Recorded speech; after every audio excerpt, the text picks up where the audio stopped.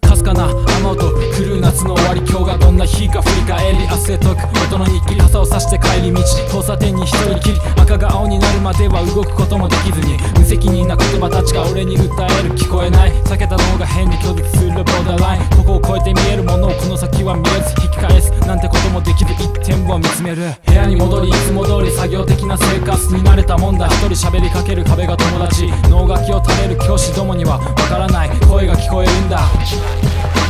きっと人としての致命的なリスクリターンどちらも手に入れることになるだろう。欲しいもっともっとたった一歩踏み出せれば世界は変わるだろう。どちらに転ぶか神のみぞ知ろう神が振ったダイス結末には未だ届かない。神が振ったダイス切なくも今鼓動はない。終始物語は終わらない。積もる塔の灰。終始物語は終わらない。積もる塔の灰。神が振ったダイス結末には未だ届かない。神が振ったダイス切なくも今鼓動はない。終始物語は終わらない。積もる塔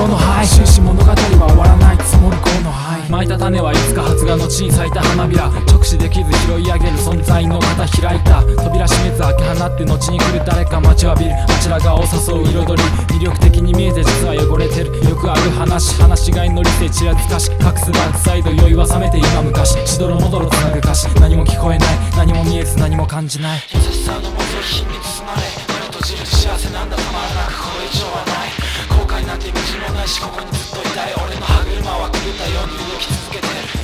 さのもと火に包まれ目を閉じる幸せなんだたまらなくこれ以上はない。